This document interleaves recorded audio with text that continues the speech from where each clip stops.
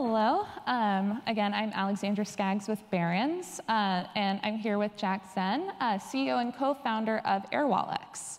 Uh, thanks so much for joining us. Um, so I, I, have to say, I did a little bit of research before this, and uh, you guys have a really interesting founding story. Um, can you talk a little bit about how you guys came up with, with the idea for Airwallex and sort of, um, you know, where that came from? Um, we started the business about four years ago to solving some of the cost control um, and speed uh, efficiency issues in B2B cross-border payment. And the story is quite simple. So we um, invested in a retail business in Australia that require a lot of um, importing from Southeast Asia and China um, that the only solution available was uh, the banks and Western Union at the time.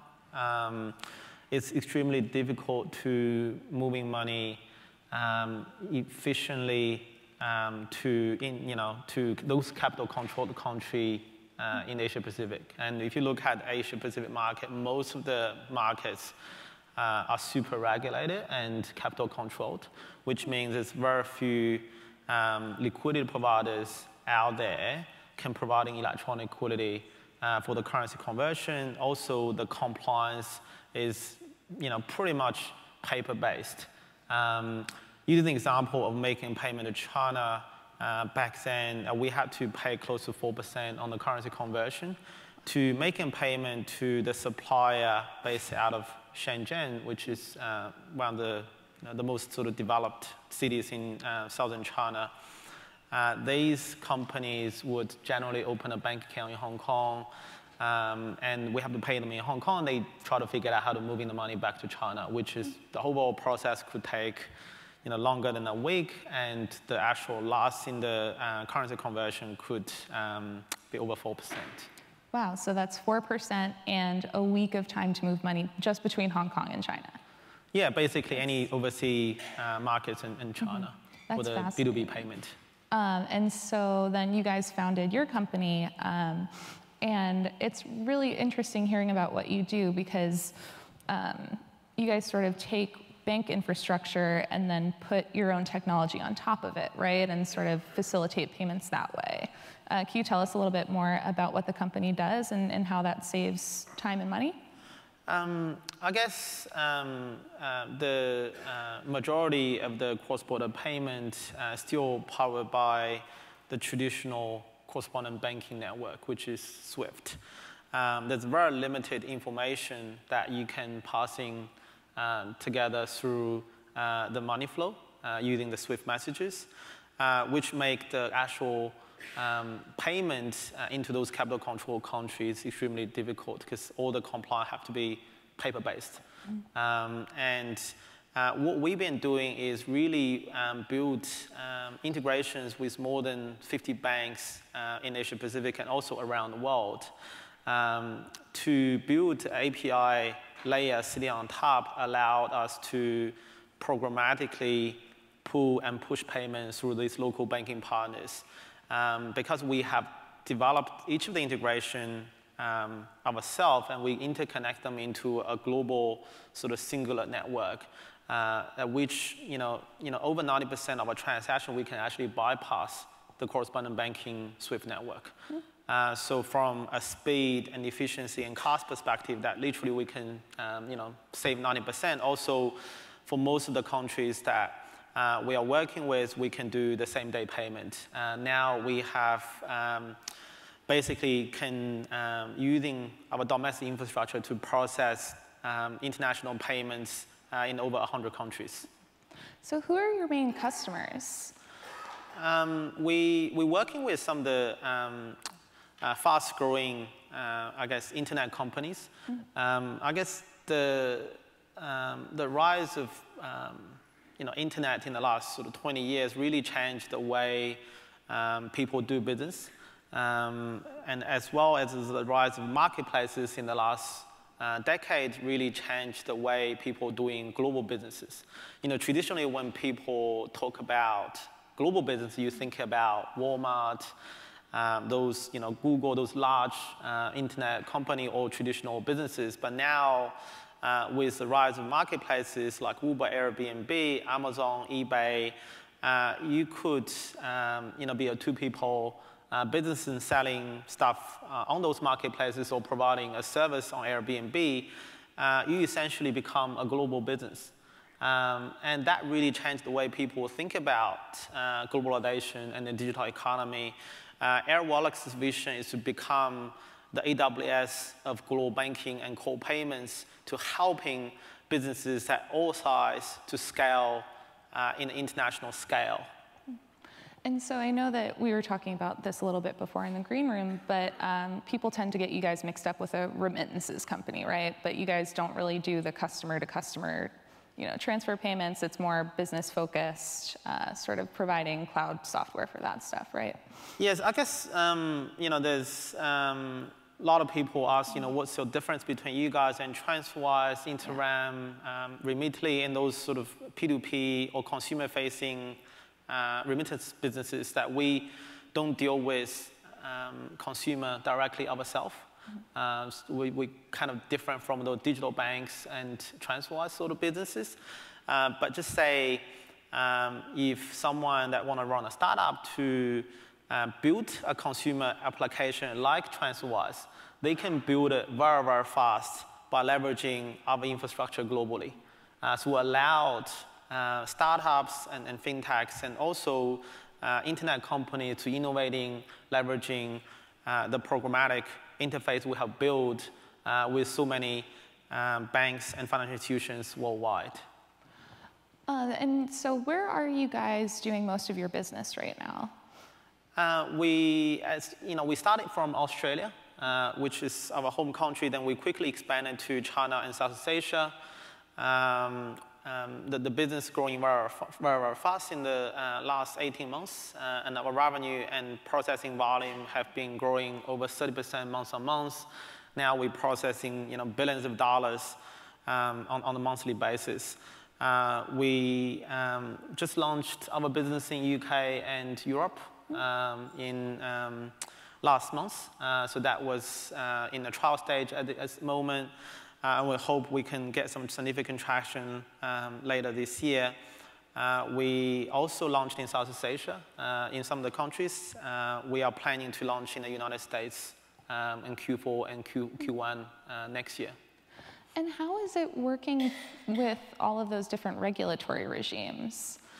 Uh, it's, it's, super complicated, it's especially um, in, in, within Asia Pacific, um, because those um, you know, it, it, took time just to explain to the, the local regulator uh, in Asia what is the API, you know, what is the programmatic interface, um, and how you can doing uh, straight-through processing for payment without based on and, and rely on the, the paper-based compliance documentation, which is they have been relying on that for the last 30, 40 years. Mm -hmm. uh, and also demonstrating to the regulator uh, the type of payment flow you are you are doing and why is uh, a, a lot lower risk um, in, in the financial ecosystem and how you control the money laundering, uh, the fraud um, that flowing into those um, uh, systems. They also quite uh, concerned about money escaping those countries uh, and how are you demonstrating the ability uh, to the regulator that you can um, helping them to providing transparency um, of data to the regulator rather than um, kind of making the system um, deficiency. Okay, so um, you guys sort of work with regulators and provide them data to sort of um, calm those fears then. Um, and, and, in Europe, I mean, I'm assuming that it's a little bit different there. Uh, is the regulatory regime in Europe different?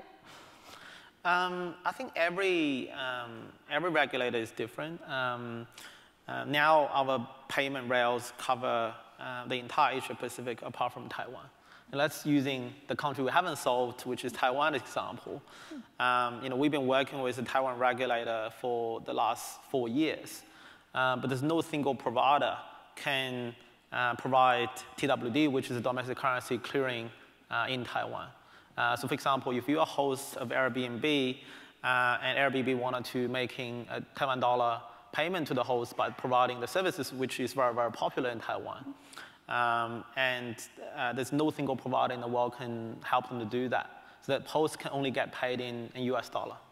Uh, and we try to uh, basically go into the regulator um, to explain the necessity of this type of payment to be electronic uh, and, and speedy. Because um, you know, right now the hosts have to open a domestic bank account, physically walking into the branch mm. and changing US dollar to Taiwanese dollar um, on a sort of weekly basis, which is insane, right?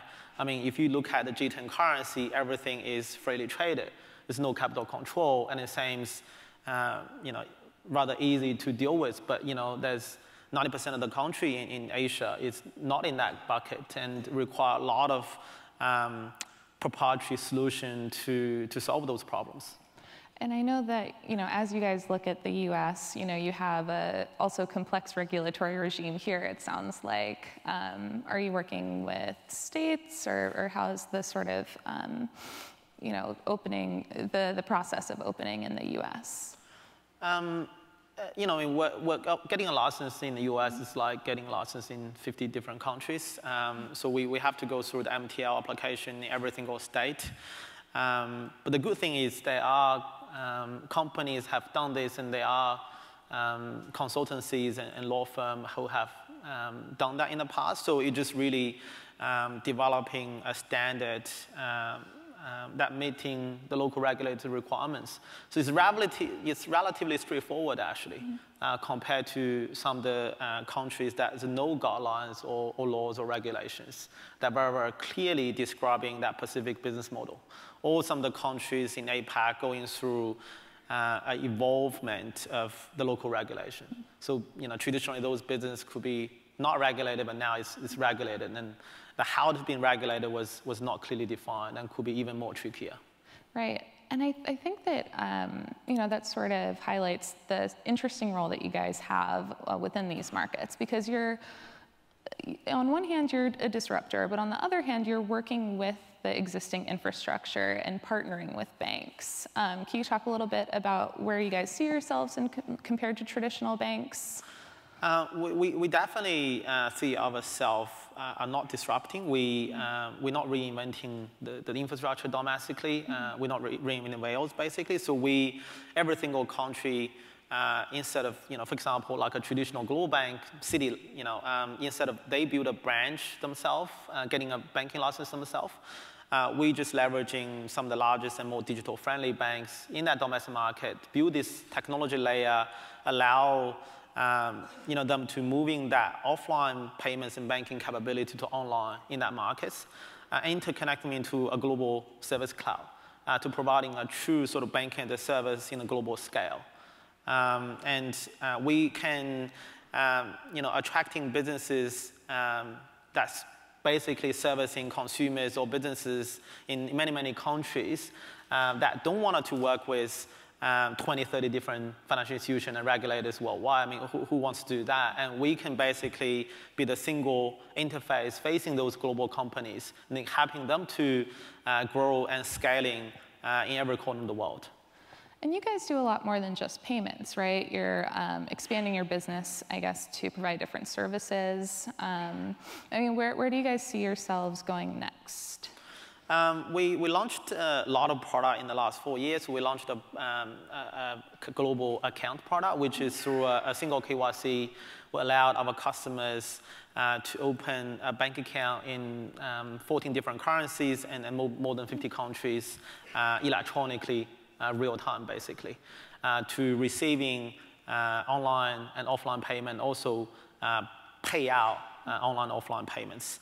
Uh, we, because everything we do is in a global scale, so we have developed a very sophisticated foreign exchange trading engine that directly participates in the interbank market so that uh, we have a product we launched we called LockFX, allowed our customer to lock the foreign exchange rate at any time interval, you know, one minute or 15 minutes or 24 hour or a week um, without uh, currency holidays, uh, without banking holidays, those sort of all weekends, and we can providing uh, FX guarantee any uh, basically 365 days and 24 by 7.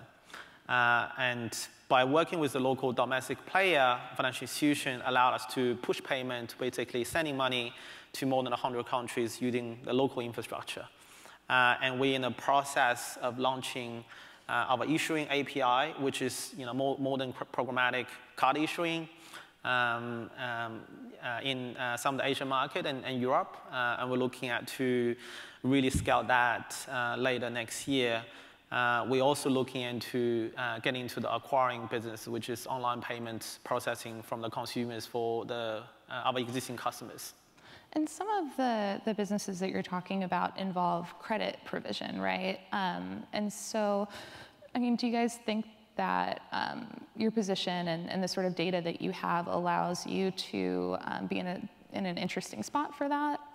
Yeah, let's use uh, a seller selling on Amazon example. Traditionally, uh, when you're making payment, you don't know anything about the information, what the seller's been selling, uh, and where it's been selling it, who is the logistic provider. But with us, that we can get the actual public key that connect to the Amazon, we can pull those data uh, electronically. So we have all the data of what the consumer has purchased from this seller, um, you know, how long the logistics will take, which company it is, and what, uh, how much it cost.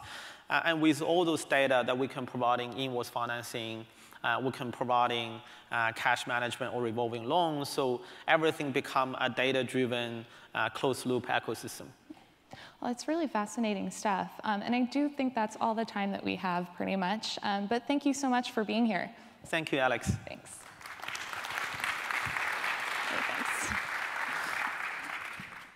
Please welcome to the stage from CB Insights, Matthew Wong.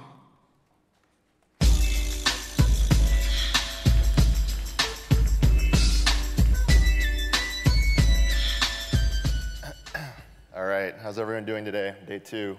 Hopefully we'll have better luck with the weather a little later with this rain uh, stops. But uh, I just want to piggyback off what uh, Jack at Airwallex was talking about, and we're going to have uh, SG Lee from Toss, which is a very exciting company out of Korea, which is, uh, has started with P2P payments and expanding into other financial services verticals. But what I want to do uh, today in the next few minutes is just walk through sort of what is a playbook? Is there a playbook evolving for how internet giants in Asia are sort of building um, and creating super apps uh, within fintech? So starting maybe with one product and expanding all the way through into maybe starting with payments into wealth management, insurance, lending, and other areas. So if you look at a company today like Ant Financial, today Ant Financial is about 150 billion as of its latest valuation. If you compare that to some of the largest banks in the world as of their latest market caps, it would rank among the top 10 in terms of, uh, in terms of where their value stands. Of course, I think a lot of people think of Ant Financial as a financial company, and I think that may be sort of the wrong way to be thinking about it. If we look actually on the other side of the table, even looking at just tech companies, Ant would also rank among one of the top 10 largest tech companies in the world. So if, no matter which way you swing it, I think there's obviously Ant as a, as a major force to be reckoned with. You heard from my colleague, uh, uh, who talked a little bit about what some of the other tech giants are doing uh, within financial services. But of course, a lot of them are single line going after payments and some other areas as well. But if you look at companies in China like Ant and Tencent, they've really built out this entire ecosystem of financial products on their platforms that they're offering to consumers. So we're going to talk a little bit about how did they do that, what was sort of the playbook to building that out, and how are they successfully sort of evolving for the future. So what does this playbook look like? I'm going to go through sort of step by step, but if we think about it sort of at a high level, uh, originally it was really just to leverage the existing user base um, of, platform users to expand into mobile wallets. Um, as they did that and gathered more data based on transactions, uh, a lot of features that were built out were aimed at locking in users by providing access to new uh, features like money management as well as uh, microloans.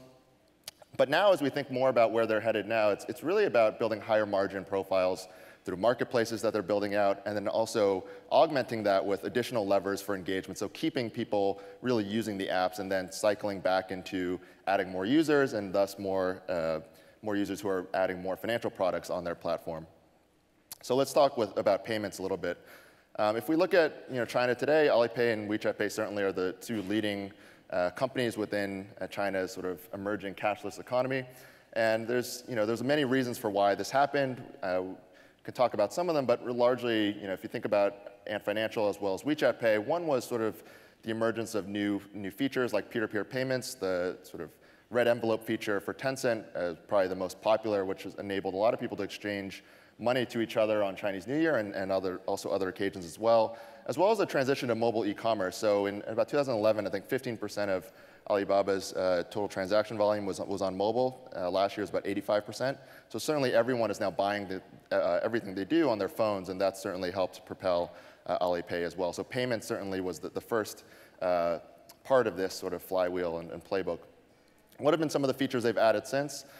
Uh, certainly in, in the case of Ant Financial, I think Yu'ebao was probably one of the most important features that they, they've built. And this was sort of on the back of realizing that a lot of their users were, had a lot of idle cash sitting in their virtual wallets, providing a, a, a way for them to invest that cash into money market funds, which uh, has emerged as the largest money market fund in the world, has, has become a little smaller um, since then, and we'll talk a little bit as to reasons why.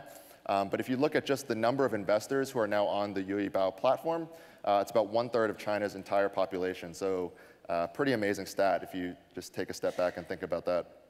Another area in which Ant has built out sort of a feature to lock in users and, and keep them engaged is in lending. They have three different lending products, both for SMBs as well as consumers. And a big part of this is just using that transaction data that they're gathering through the payments features um, and being able to do this well. So they've distributed about $13 billion in, in microloans to small businesses and, and also providing you know, small loans to consumers as well. So another aspect of this idea of locking in users. But now, as we think about where Ant is headed, it's really becoming less of a financial services provider and more as a platform and building out a marketplace for other financial institutions to, um, to sort of take place as well. So I think the big idea here is to think about Ant Financial as a um, platform for allowing uh, other financial institutions to um, take advantage of their access to distribution as well as data. So today, I think the big, the big thing here is that about 100 million users or over 100 million users are using all five of these functions that Ant has built out, whether that's wealth management, whether that's insurance, whether that's lending, as well as payments. Um, and I think that's really important. I think that's going to build the business into a much more higher margin business as they think about building this into more of a marketplace and surfacing these products for their consumers. Um, if we think about wealth management, for example, and maybe why we've seen some of a reduction in Yu'ebao's sort of money market funds, they're now offering uh, 116 mutual fund asset management companies on their product called Ant Fortune. This is a marketplace for uh, wealth type products, have 180 million users. And again, it's all about driving margins by distributing, uh, distributing products from other financial services companies um, on, this, on this feature. And so how are they, how are you know, companies like Ant also keeping users engaged and coming back and, and building more of this profile in which they're also um, going back and, and buying more financial products. Um, one is by adding additional levers of engagement. If you think about an app like WeChat Pay, certainly you're using the app every day, multiple times, but Ant Financial, you may not necessarily be doing that. So having to continue to innovate to, to bring in users and, and engage with them. One of the features that's become extremely popular over the last year is this feature called uh, Xianghubao, which is a, basically a crowdfunding platform for users to, um, if one, one person becomes critical ill, uh, has a, falls critically ill, they'll be able to crowdfund payments for that. It's, it's not necessarily an insurance platform, but um, certainly have reached uh, users, almost actually 50 million users in less the time than Yu'ebao took uh, to reach 43 million users when they launched the money market fund. So a very popular product, especially among rural, uh, China's rural population, um, and given sort of the state of uh, medical uh, in, in China as well. So where's the playbook going next? We're seeing this, I think, this same flywheel take place in, in other regions of the world. I'll go through just a few examples. Um, next, one is in India. We're seeing companies like Paytm also look to build out uh, a model around starting as a mobile wallet and also emerging into other financial services, uh, adding features such as Paytm Gold, for example, now building out a mutual fund investment platform called Paytm Money, and now, uh, most recently, as you heard from Citi yesterday, launching a credit card uh, with Citibank and uh, features like unlimited 1% cashback. So similar type of playbook in what you're seeing that start with mobile payments, bringing a lot of data in, locking in users, and, and now expanding into other areas where they can um, build higher margins by offering you know, brokerage as well as investment products to their users. In Latin America, we're seeing companies like Mercado Libre, which is very similar to Ant in a way because of the start with e-commerce as, as, one of the largest e-commerce platforms in, in Latin America. Also look to expand their wallet, uh, Mercado Pago, that's growing uh, extremely quickly. And I think what's What's interesting in their case is it's growing extremely quickly off platform. So a lot of users who are um, paying with their mobile wallet through QR codes in Latin America today using Mercado Pago. And similarly to Ant as well, also building out digital asset management uh, tools and products like, like Yu'ebao and um, th their first product, Mercado Fundo, is, is, aimed at that. Again, locking in users to, to continue to use the mobile wallet. And in Southeast Asia, which is, I'd say, a bit earlier in its development, we're seeing companies like Grab and uh, Gojek's GoPay wallet who are leveraging their ability to access ride hail, uh, the ride hail use case as to differentiate from other mobile wallets in the region. And that's also enabled them to uh, acquire users by using uh, the drivers as offline agents, um, thus funneling them into, the, again, their ecosystem where they're able to drive transaction volumes. And eventually, I would expect as Indonesia moves and develops uh, and certainly matures, we'll, we'll, see other financial products on these wallets as well, like loans and, and wealth management, insurance, et cetera. So just to finish, to wrap up here and, and summarize in the last uh, minute or so, where, where should incumbents prioritize um, because of all this? I think one is to understand, um, you know, track the activity of, of super apps to understand where uh, there's this risk of disintermediation, disintermediation. As we see uh, you know, these marketplaces evolve based on these wallets. I think a lot of banks as well as asset managers, insurance companies will be putting their products on these platforms. If we look at companies like where Tencent and Ant Financial are investing and, and, partnering, a lot of activity in Southeast Asia, a lot of activity in, in Latin America and some other parts of the world. Um, but emerging markets is certainly where this is really taking hold today because of a lot of the, the forces at play. And I think another area to think about is also understanding how um, disintermediation also can create uh, customer acquisition and cross-sell opportunities. So as super apps look to seek bank and insurance partners for some of these marketplaces that they're offering, um, I think there will also be opportunities for banks to offer other products to them. We've already seen this take place in some cases, like in Southeast Asia, where banks can leverage that user acquisition from some of the wallets and then bring them into other products uh, and add a lot of new customers through these, uh, through these platforms as well. And I think also concentrating lastly on the opportunities based on where these super apps are in that flywheel sort of playbook uh, is really important. If you look at um, an example like Invesco, for example, they've, they've added about 14 billion in assets for their China joint venture just in the last few months, um, viewing it certainly as a major opportunity. And so as we see sort of the wallets uh, develop and, and, and emerge and, and shift their strategy from not just driving transaction and consumption, but as economy like China today, where people are now investing into wealth management products, insurance products, protection products, there's opportunities for incumbents to also take advantage of that, add you know, a lot of assets as well as new customers. And I think we're starting to see you know, a lot of incumbents uh, already do that today. So I'm going to wrap up. We're going to turn over to Cameron, who will introduce Toss. Uh, we also have some additional research that we've been putting out on uh, some of these themes and topics. I'd be happy to discuss them with all of you uh, later at the conference as well today. So thank you very much, and look forward to the next talk.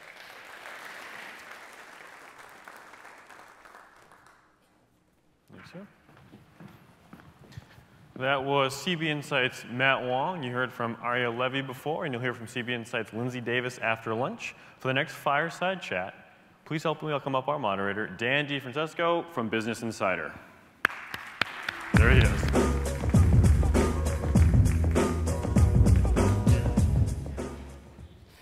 Thanks so much for, uh, for, for sitting in for our session. I'm joined today by uh, SG Lee, who is the CEO and founder of Toss. Uh, the popular payment app in uh, South Korea. So Toss launched in 2015 as a peer-to-peer -peer payments app. Uh, 12 million registered users now. It's raised nearly $200 million to date, valued at $1.2 billion, and it is the first and still the only uh, fintech unicorn in South Korea. So, SG, thanks so much for, for taking the time to chat with us today. Uh, to start, can you just give us an intro of uh, of Toss, kind of the, the, the business model, and, and, kind of just an overview of the company. Uh, thank you. Uh, thank you for having me. Uh, yes, Toss actually started as a P2P uh, payment services, just like a Venmo. But we are so lucky uh, to be in the position that, so that we can just fulfill all the voice that was existing in the uh, Korean fintech industry. well, even, despite of like global number 10 GDP and economic states, uh, Korea doesn't really have a really proper financial services such as Credit Karma, Mint, or whatsoever. So we are really lucky to have, we're really able to uh, fill all those opportunities there. So right now, Toss is more of uh, Venmo plus Credit Karma plus Mint kind of services. So we, we offer full suits of uh, uh, financial. Uh, so when user are in needs of anything related to finance, we just user can just open up the Toss and they just consult what they're in need of. So right now we are uh, 12 million. Uh, most of most of them are monthly active and they just access to the app more than 50 times per month. And uh, monthly transaction volume right now is about 3 billion USD, and it is growing at a pace of uh, 10 to 15% every month. So, and right now we are covering 24% of total population that exists in South Korea, and we soon to launch our service in Vietnam market. So yeah, it's, uh, we're trying to be a, a mobile branch for every financial institution that we made a partnership with so that they can have a really good uh, financial savvy users uh, through the digital channels. Yep. Yeah, I was going to say, it's not just 12 million registered users, it's 12 million registered users out of 51 million people total in South Korea. That's, True pretty good, pretty good odds. um, the, uh, can you talk a little bit, you, you touched on it there, the, uh, the overview of the kind of the, Korean, the financial, the kind of fintech market, and how it kind of does compare to the US, because maybe people aren't as familiar. Yes. Actually, uh, the, we have a, a very similar uh, financial dynamics uh, like US rather than China. Uh, the Korean, Korean financial market is quite saturated and it's quite matured. So like, we do, like, if you just see the loan market, the Korean loan market is number four in global, and Korea e-commerce market size is number four in global. So if you're just considering the land mass and the population of 50 million, it, it, doesn't look like really big market, but it's really, uh, it's really saturated and really matured market. And 75% of the population has a, some kind of loans, whether it's a mortgage or unsecured loans. So it's a huge market. And we do have a same FICO system just like in US. So we do have a two credit bureaus dominating the market. So almost the same. But the thing is uh, a, a, little bit different because as I already said, none of the financial services such as Credit Karma or Mint or Stripe ever existed before the Toss. So we are the first one who introduced free credit score management, uh, free P2P uh, money transfer, those kind of services for the first time. So, uh, so at, if you see these kind of dynamics in uh, market saturation, uh, it is really hard for you to educate your uh, uh, customers and users' behavior because most of their behavior is still in the offline. So we are true believers of that we can make a drastic shift in a short period of time from offline habits to the online. Right now, more than 90% of loan is executed through the offline branch. I think that's crazy compared to US especially, but uh, we, we think that that can be online and that it's going to unlock a lot of market opportunity right away. And the thing is, and also uh, I just want to highlight that the regulatory easing is very drastic. Uh, a lot, uh, the regulatory bodies are trying to uh, deregulate uh, like innovatively. So uh, it is really good timing for you to, if you're going to start the fintech business, it's good to be in South Korea. And, it's, and also it's way better for you to just benchmark all of the great players in global because none of that is, that is existing in Korea. So you can just learn it from the global and just take it and just launch it in Korea. So yeah, that, that kind of things are. A little melting pot, right? You get to pick yeah. all the good things from all the other true, countries. True, yeah. it's possible. Yeah, that's what we're really aiming for. Sure, so. sure. So as an app, uh, you, you, know, you start off with a specific service, right? Peer-to-peer -peer payments, and then you kind of expand um, in, into kind of other areas, right? I think what 25 services now. You, you guys. Yeah, 30 services. Yeah. yeah. So it's a similar kind of trajectory that a lot of US fintechs are making as well, right? Starting in a specific area and then kind of branching out. From your perspective, what was kind of the strategy as you look to expand beyond peer-to-peer payments? Yes. I think uh, there has been a like unbundling versus bundling kind of strategy comparison to one or two years ago, but I think that's not uh, right anymore. I think uh, every, every uh, financial services should collide into one app, like one super app that's going to solve all of the financial needs that user have. So it's better for you to have a really high engagement and high frequency usage rather than just, uh, well, if you just see the loans or insurance and all that, it doesn't happen every day. But compared to that, P2P payments or merchants payments or check, even checking a credit score, that happens more often than uh, just get a loans, right? So, well, Robinhood, uh, the investments happens really uh, uh, often. Like you, you check your, the market situation like seven times per day. So what I'm saying is, just it's better in strategic wise. I think it's better just to dominate the use cases of the high frequency, uh, and after that you can just add up a, a, lot of services that can be useful for the users. And if you collide all that, then user will going to perceive that app or the services as a as an ultimate app that can solve everything. Like if you, if you just want to checking your balance or money transfer, or you're in needs of loans and all that, you can just check there. And because you use it every day and you trusted that service for a very long time, it obviously will going to give you a, good conversion there. So yeah, I think the uh, becoming only a one app that solves everything is very makes sense mm -hmm. as time goes by, uh, because you know I'm I'm betting on that the finance institution will going to be not successful about making their digital or mobile presence at all because, because of the organization issue and all, all those stuff.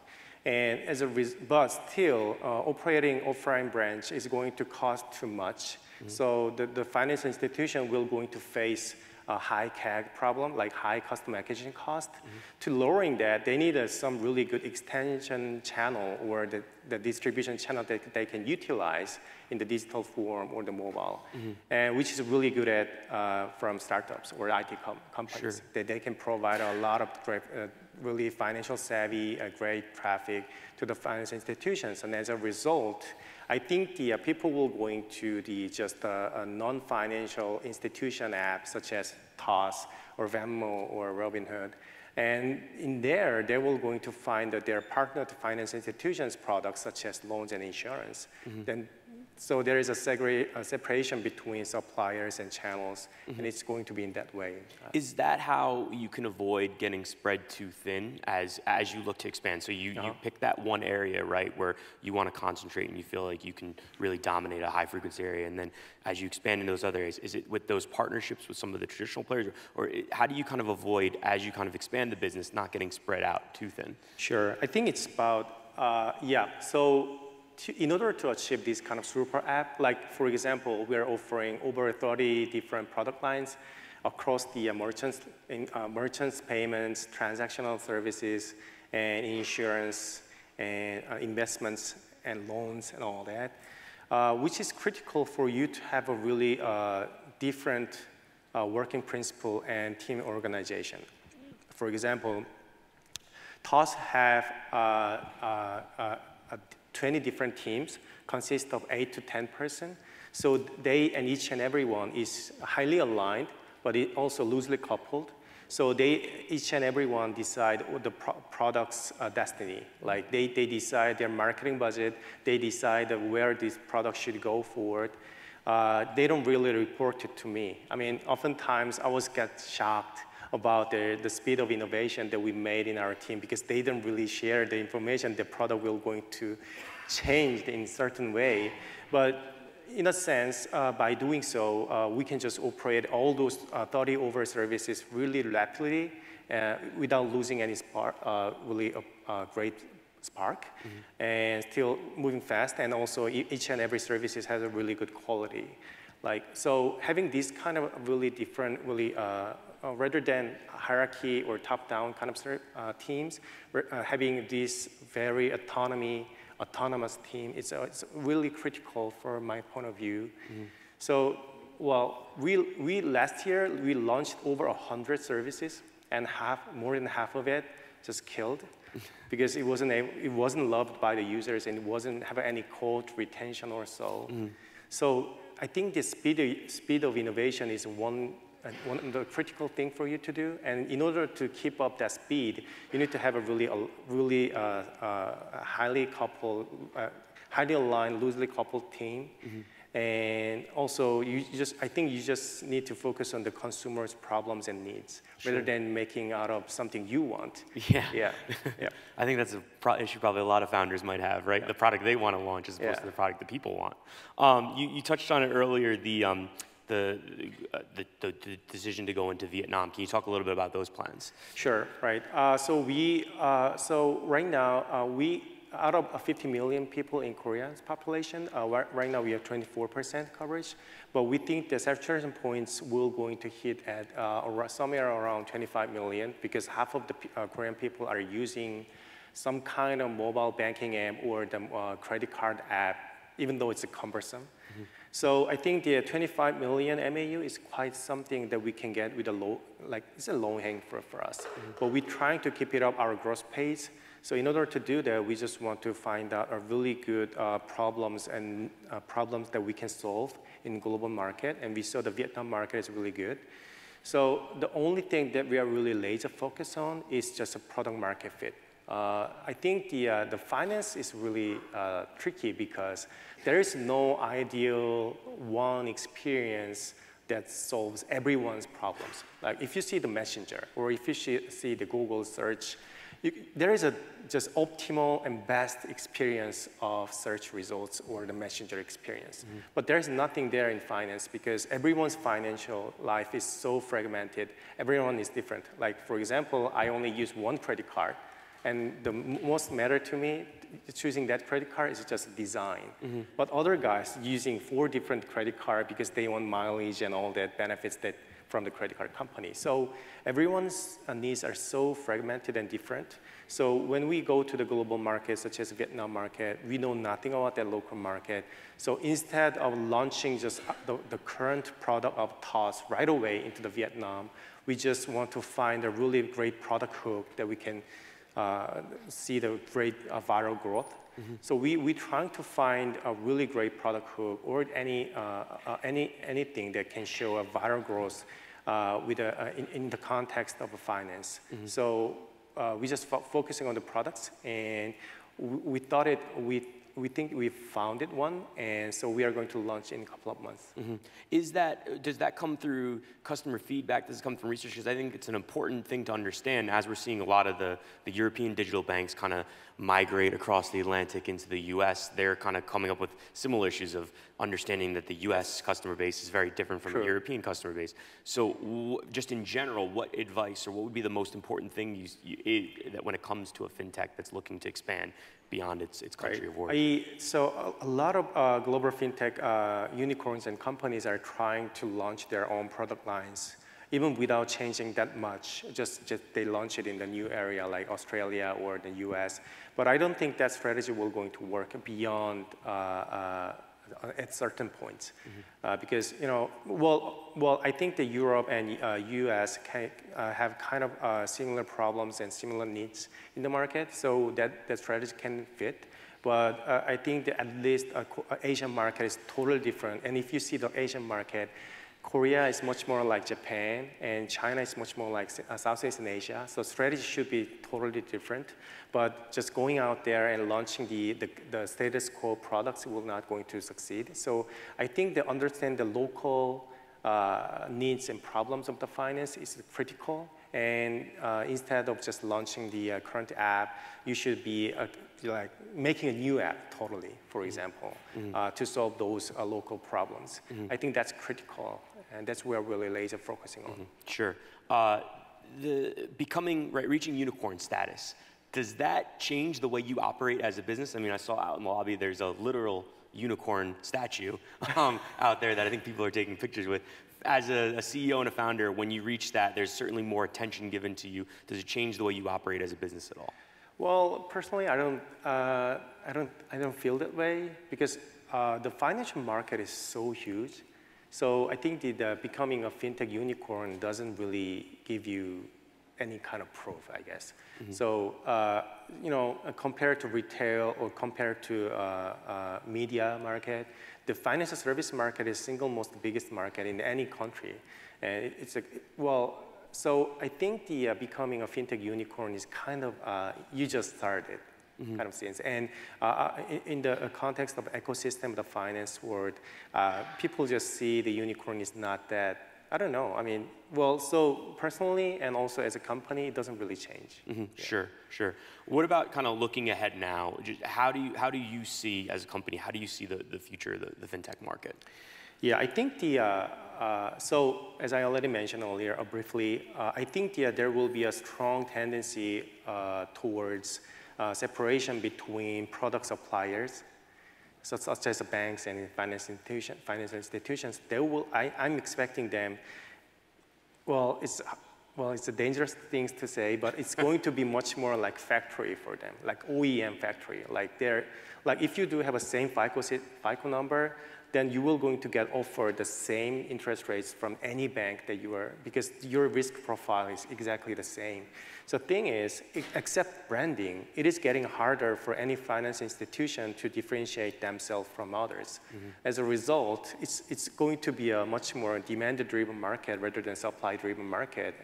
And in that cases, any, any players, those who grab the last mile of the users, such as Toss or the Credit Karma or Robinhood and all that, Revolut, mm -hmm. they will going to have a, a, much stronger power against the finance, financial institution because they became just a factory or the, just a, a loan service provider. Mm -hmm. So I think there will be a separation between channels and uh, the suppliers, and banks and financial institutions still have a chance to become a really dominant distribution channel in the mobile. I think it's a low chance, but it's a so it's a whole competition. So mm-hmm. I think the uh, uh, in coming three to five years, there will be a strong competi uh, competition between which distribution channel is the dominant player in this market or not. Sure. That's that that war will go on. Sure. So, so we're winding down here, and we're going to play a game. I was told it's very popular amongst the crowd. The uh, overrated, underrated. I'm going to share a term or a company with you. We're going to put you on the hot seat, and you're going to tell me if it's overrated or underrated. So, first one, Amazon. Overrated, Amazon. underrated. I think it's underrated. Okay. Because you know Amazon is still very big, and they, I, I heard that they are 40% out of all online transactions in, in, in retail. But still, the mar if you see the uh, industry uh, dynamics there, the, so I, I, see the really uh, interesting statistics uh, before that uh, if you see the advertised market, 80% of revenue is, is coming from online already. So it's fully, kind of fully online, uh, online-wise. But if you see the retail, only 40% of the market is through the uh, revenue is coming from online. Still, 60% of the revenue come from, I don't know, Costco or Walmart or something. So I think there's a lot of room to grow in terms of offline versus online. Mm -hmm. So I think the, as the uh, Amazon is dominating the online transactions, if the market number of the online 40% uh, out of total retail goes up to 80%, in that case, Amazon can be a way bigger company than sure. status. Next one, blockchain, distributed ledger technology, overrated, uh, underrated? I think it's overrated.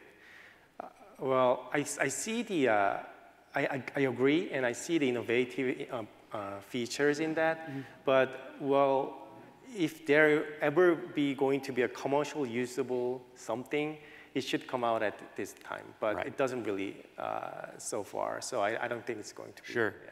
Another company you've mentioned a couple times up here, Credit Karma, overrated, underrated? I, I, in the same sense, it's underrated uh, because Credit Karma is already generating tons of tons of revenue and so profitable, uh, and the, the, company value is over four billion. But still, I think the uh, only 32% of the loans are executed through the online right now in U.S.